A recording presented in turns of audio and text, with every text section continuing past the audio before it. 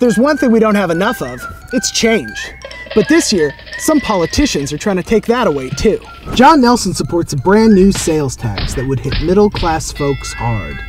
Instead of nickel and diming us, I say we force big corporations to pay more than $10 in taxes. John Nelson's new sales tax could cost $2 billion.